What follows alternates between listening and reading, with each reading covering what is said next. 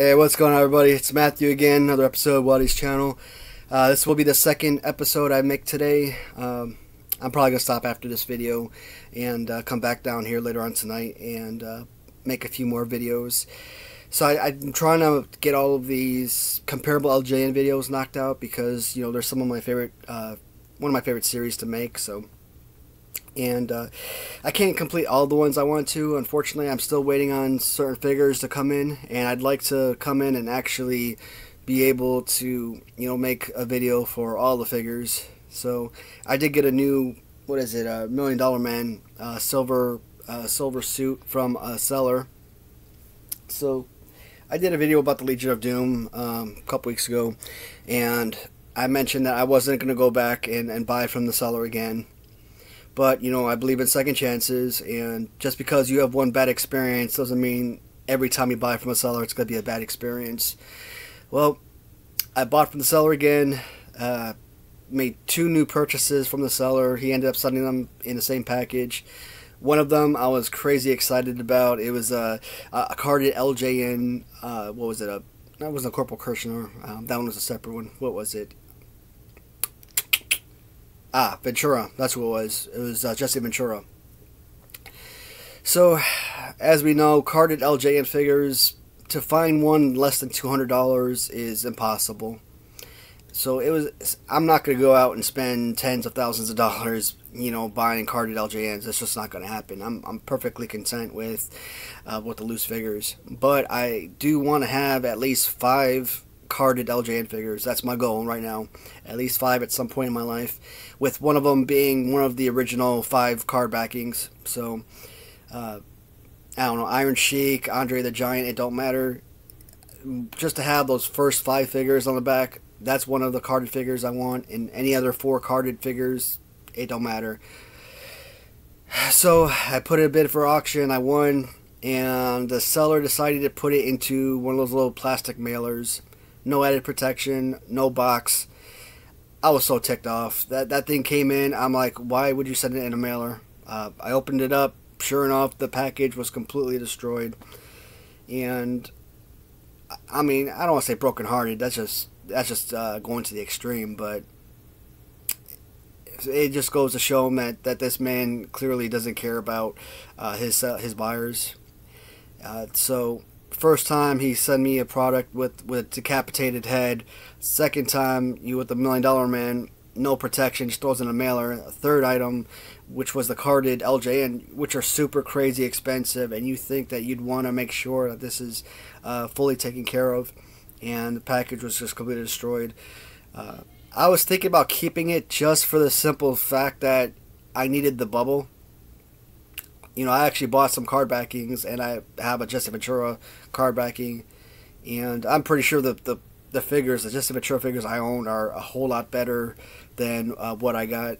So the figure inside looked like he had been used. I mean, just not a brand new figure. So overall, bad experience. Uh, forgot his screen name, C W C Worts, something like that.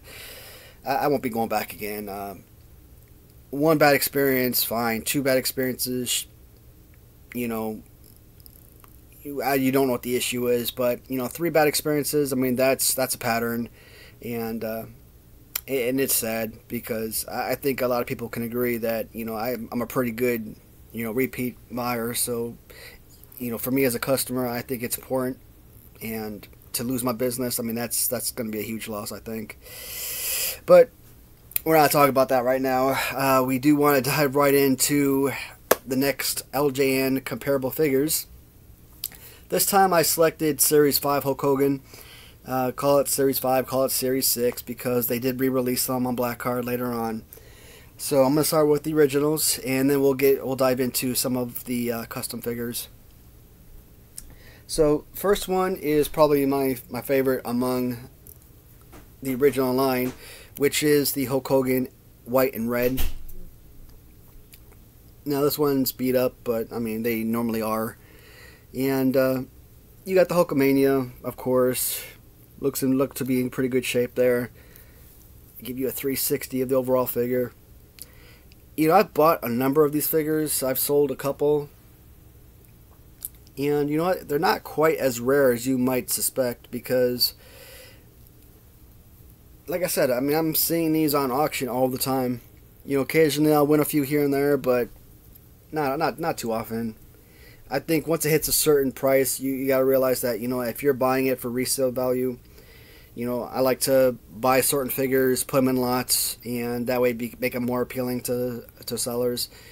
But once it gets to like 100 $120, you know you're never to get that back. So, you know, if I'm buying it for the first time for my personal collection, yeah, I'll spend $125 on it, no problem. But unless it's selling for like 50 bucks, I mean, you're, you're never going to really turn a profit, and that's never going to happen. So, I don't really bid on this as often as I had in the past, but that's okay. Uh, I think I have enough. Uh, original white shirt uh, Hogan from Series 5. Now, this one actually came from Random Treasures, and for good reason. If you were to find a Series 5 red shirt Hogan, or Series 6, of course, like I said, they, they re released them, you would not be able to get this for less than $400. You know, I'm est- estimating on, on this type of figure. I've seen this guy sell an auction, and he gets up to about two, three hundred dollars. And once it gets way out of my price range, I, I pretty much stop on uh, kind of looking at it. But I mean, for one hundred thirty dollars through Random Treasures, you know why not? You're getting an exact uh, replica, and that's what it's all about. So, red and yellow Hulk Hogan. So pretty much it is the exact same figure. I mean, no difference. Same body type and everything. Uh, even has the same Hulkamania on the T-shirt. Two great figures. This is kind of like the Hogan Hasbro uh, Series 2 with the bear hug. Aesthetically, it looks incredible. You know, display-wise, so good. Probably makes it the best figure of the entire entire line. But then when you get into actual playability and wanting to wrestle with these guys, you know, you can't really do too much with them, so they falter towards the bottom of the list as far as playability. Still two incredible figures.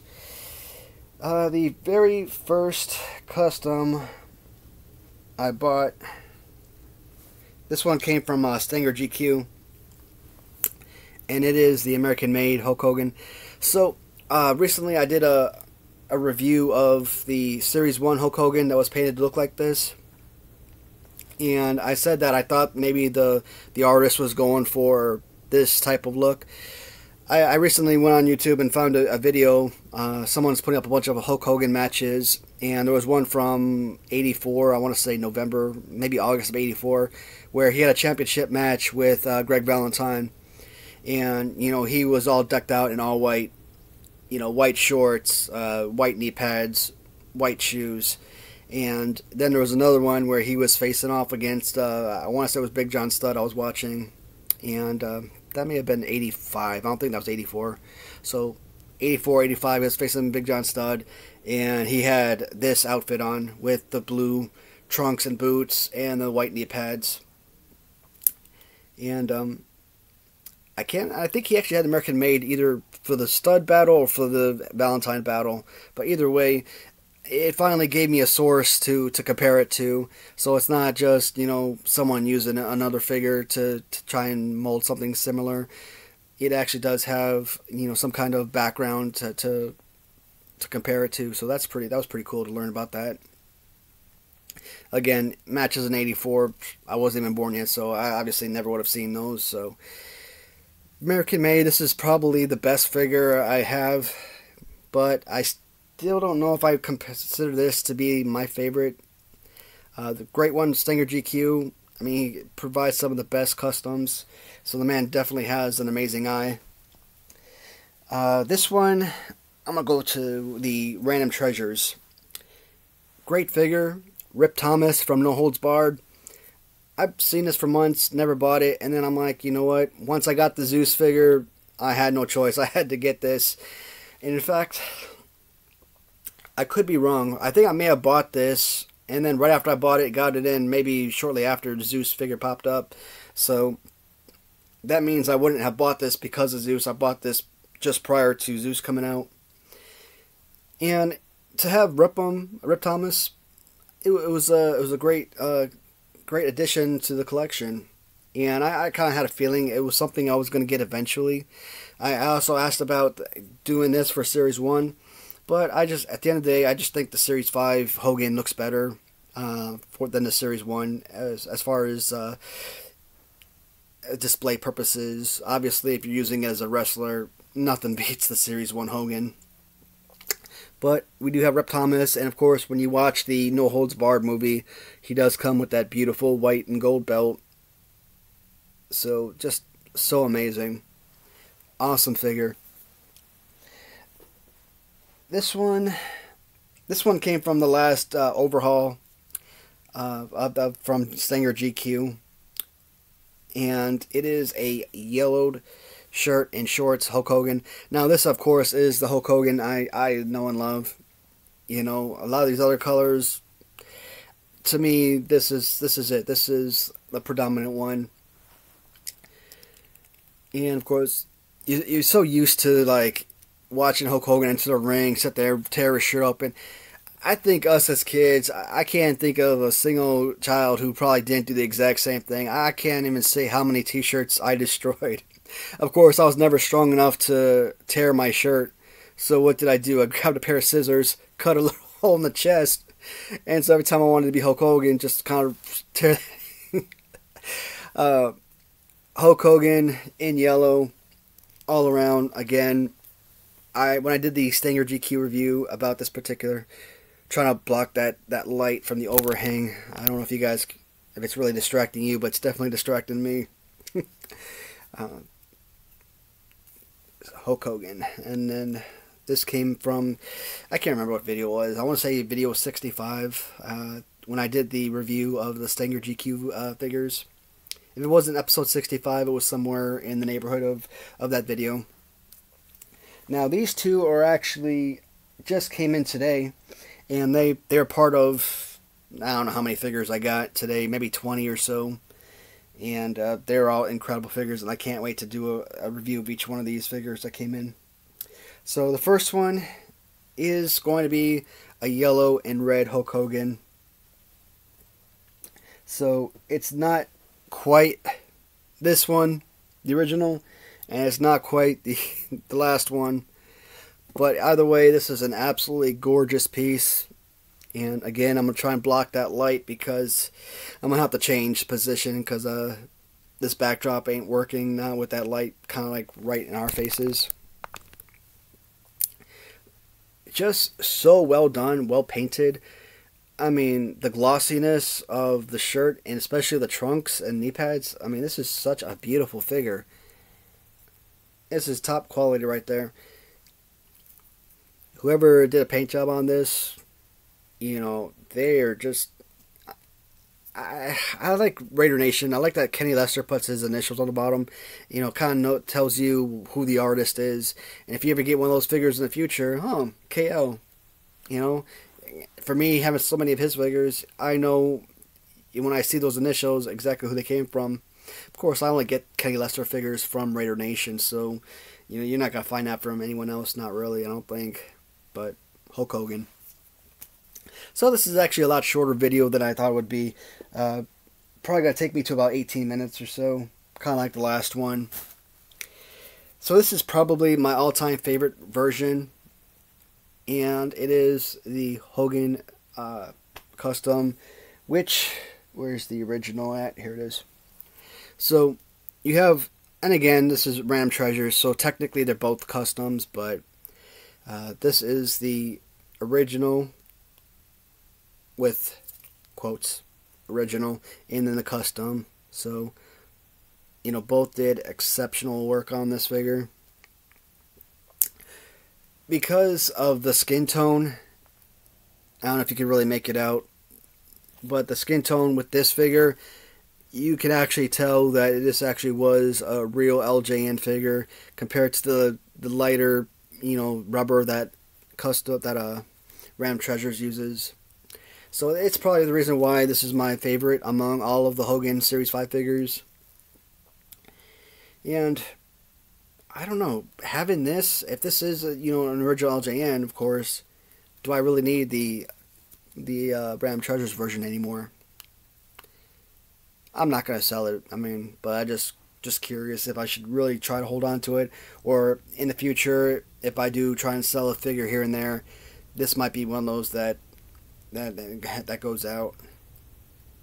I mean, I think even a, a custom would would still be appealing to some buyers, but again, now here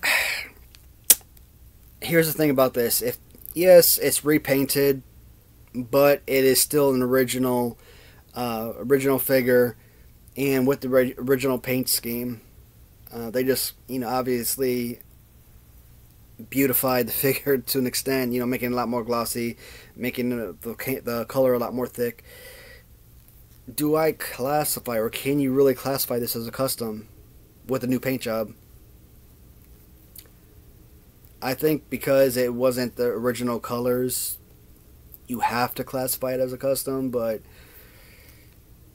I don't know. I, I probably wouldn't. Not really. But either way. Series 5, Hulk Hogan.